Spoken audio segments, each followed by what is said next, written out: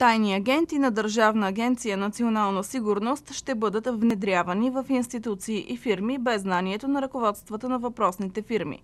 Това предложение е направил до Министерски съвет директорът на агенцията Димитър Георгиев.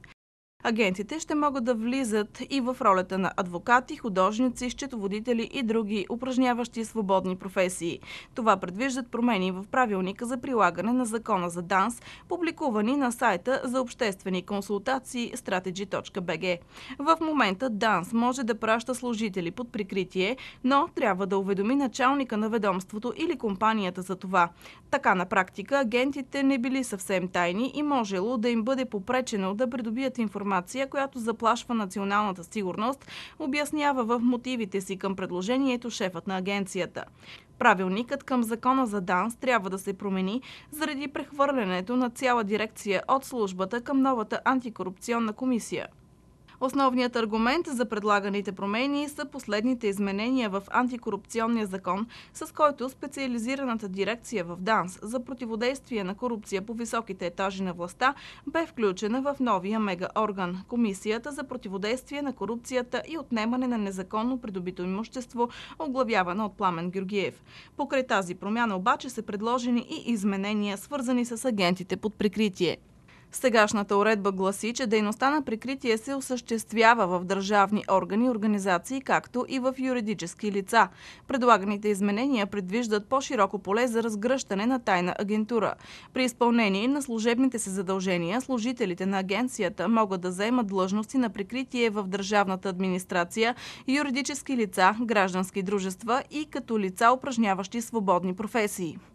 Сегашната регламентация изисква агентите под прикритие да са само преминалите първоначална професионална подготовка и притежаващи разрешение за достъп до класифицирана информация. Тези две изисквания се предлага да отпаднат и на практика всеки агент на ДАНС да може да бъде под прикритие.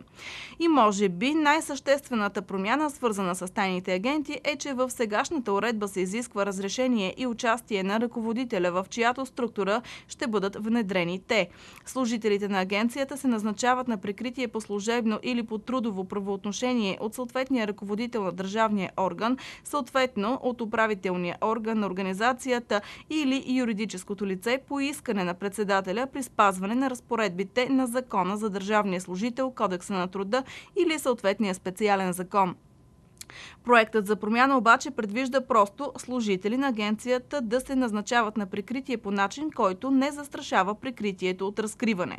Констатираната липса на правна възможност за организиране на прикритие в структури без съгласието на съответния ръководител може да създаде затруднения и пречки за своевременното придобиване на информация, необходима за защита от посегателства, насочени срещу националната сигурност, особено в повишената и отчетена в световен мащаб опасност от терористични атаки и повишената активност на разузнавателните служби на държави от така наречения трети свят, се казва в мотивите на предлаганите промени, подписани от премиера Бойко Борисов след предложение на председателя на ДАНС. Предлага се и ясно да се предвиди и, че служителите на прикритие имат право на отпуски при условията и в размерите предвидени за длъжността, на която са назначени.